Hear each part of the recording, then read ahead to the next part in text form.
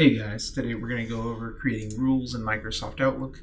The rules we're going to be creating are for automatically sorting email. You might get a lot of emails, some are from you know one source, some are from another, and a bunch of spam, right? So um, we're going to create a rule uh, in Microsoft Outlook that says, um, you know, whenever we get an email from a specific person, we'll, we'll use Microsoft Outlook for for a uh, test here. So let's look at this. Microsoft Outlook to narration bot. Okay, Microsoft Outlook test message. So we're going to create, first things first, we're going to create a folder.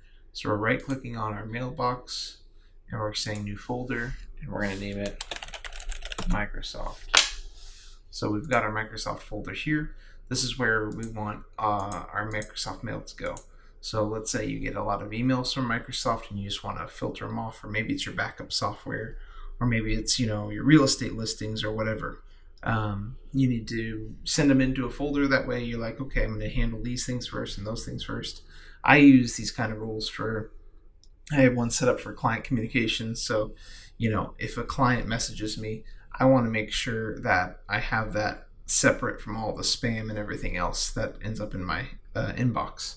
Um, I have another one for you know my Amazon stuff, my Audible stuff, my uh, Kindle stuff. You know, all that's kind of separate um, for different things for when I write. So it can be a big help. Um, so what you're going to do is you're going to go up to File. You're going to go Message Rules and Alerts, and make sure you have your right email selected. I have multiple, so you got to make sure you have it selected. If you have just one, it'll automatically be there on the right one um, click new rule. And there's two ways to do this. You could specify either uh, the sender or part of the sender's address, or you could specify something in the subject line. Um, now, because Microsoft, uh, you know, we'll, we'll, go through both. Um, so we want to say apply a rule to messages on messages I receive. Next. And then we could say specific words in the subject. We'll do that first. Click on specific words down here.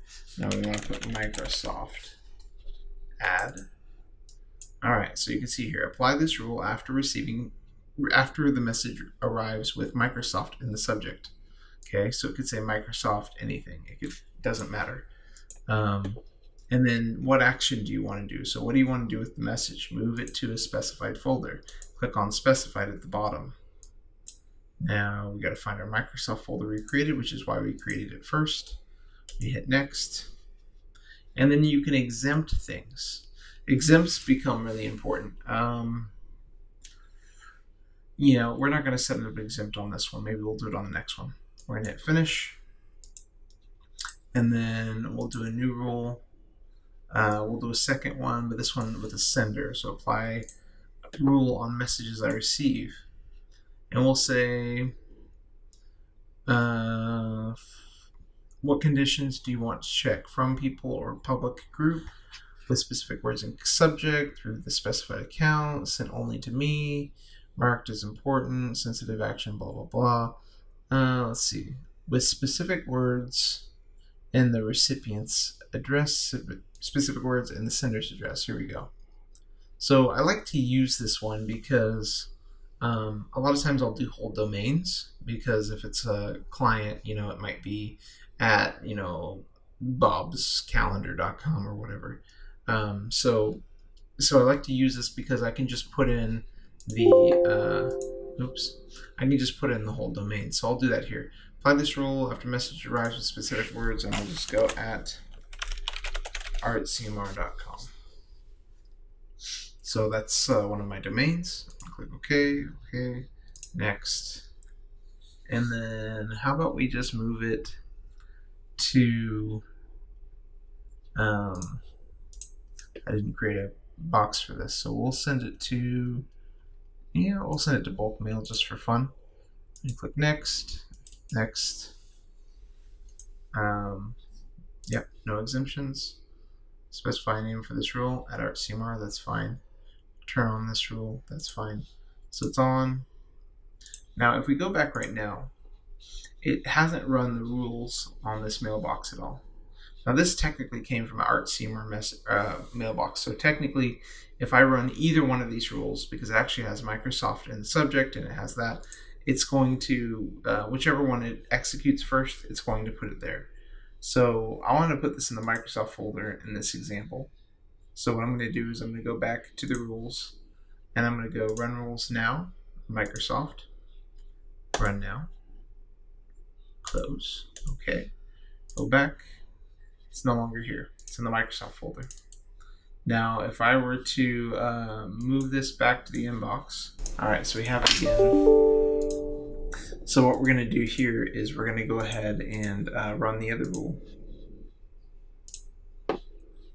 So we're gonna run the rule for art CMR, which should send it to the bulk messages. And there it is. And there's the test that I sent as well. Perfect.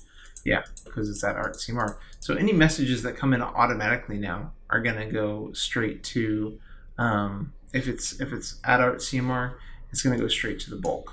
So just to show you, new email to narrationbot.artcmr.com test test. Go to narration bot. Do a quick send receive. See this just got one up to three here. There it is test. So rules are working well. To remove it it's pretty much the same thing. File message rules and alerts. Now you can just hit delete now you select it first so click on it delete yes delete, yes, apply, okay.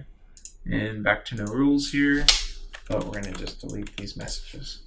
So that's how you um, work with the rules and alerts on um, Microsoft Outlook, specifically the rules. Now, if this uh, is helpful to you, go ahead and like the video and uh, go ahead and hit subscribe. I hope this is uh, uh, easy to follow. And if you guys have any questions, leave them in the comments below. Thanks. Is it too good to be true?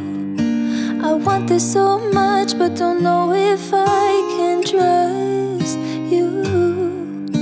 My mind's racing fast, trying to find the red flags I'm used to.